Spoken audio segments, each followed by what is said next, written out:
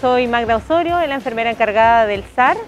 En este momento les vamos a presentar cómo, es el acceso de los pacientes a este dispositivo. Acá todo paciente puede ingresar por este sector y aquí es donde tenemos el filtro. Tenemos un auxiliar de servicio que aplicará una pauta, una pauta que es súper sencilla y en el fondo enuncian síntomas respiratorios que harán que su espera y su atención sea por el otro sector. Quienes no tengan criterio o que no cumplan con alguno de esos síntomas pueden ingresar acá y, esperar en la sala de espera que tenemos. Esta es nuestra sala de espera. Por aquí los pacientes con su, solamente con su cédula de identidad manifiestan el motivo por el cual consultan. ¿ya? Después de eso son llamados por un técnico de enfermería, quien toma los signos vitales y categoriza eh, la atención, de acuerdo al motivo por el cual consulta.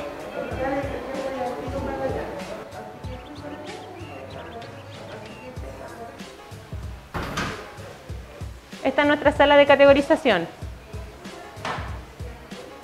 O los pacientes después de hacer el ingreso, de entregar su cédula de identidad y de explicar el motivo por el cual consultan, pasan por esta sala, aquí se toman los signos vitales y eh, además aquí se categoriza de C1 a C5 de acuerdo a la gravedad de su consulta.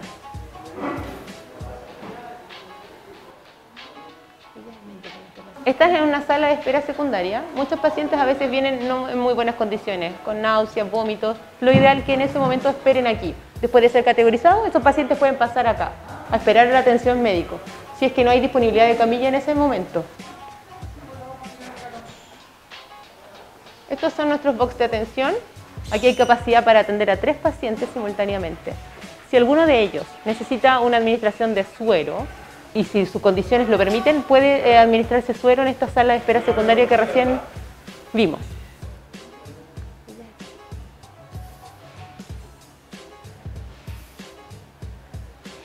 En esta sala esperan pacientes por traslado o por cama en algún otro centro de salud.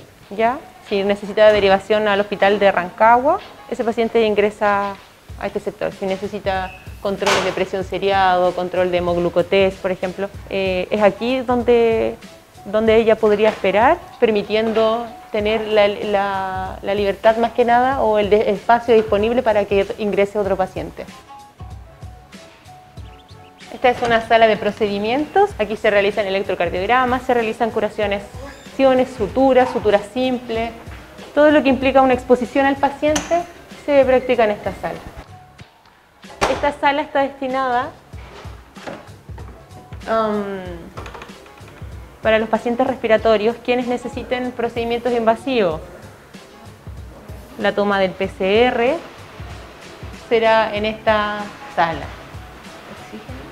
oxígeno, administración de oxígeno si lo requiere, o nebulizaciones también.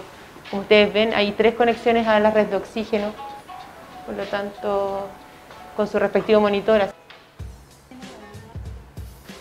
Si viene un paciente con síntomas respiratorios, esta es la sala de espera que ellos tienen y de ser llamado ingresan por este sector. Este es el acceso para los pacientes con sintomatología respiratoria o pacientes sospechas de COVID y la sala de categorización para esos pacientes y admisión será esta. Entonces aquí los pacientes entregan su cédula de identidad o más que nada indican su RUT. Aquí se explica el motivo por el cual consultan, cuáles son sus síntomas, aquí se toman sus signos vitales y tenemos también una camilla como ustedes pueden observar. Entonces el médico viene previo aviso a evaluar al paciente. Si el paciente necesita la toma del PCR o algún otro procedimiento, lo vamos a pasar al box siguiente, porque probablemente ahí tenga que estar más tiempo. Y esta se desocupa y se limpia para esperar la atención de otro paciente. Importante recalcar que la atención aquí es para todo público, no hay distinción en edad ni en el sistema previsional que tengan. Al igual que en el hospital, todos los pacientes FONASA A, B, adultos mayores sobre 60 años y los pacientes PRICE tienen cobertura en sus prestaciones de salud, o sea, ellos no deberían cancelar nada. Pero FONASA C, D y SAPRES y pacientes que no tengan un sistema previsional cancelan de acuerdo al arancel que emite el servicio de salud.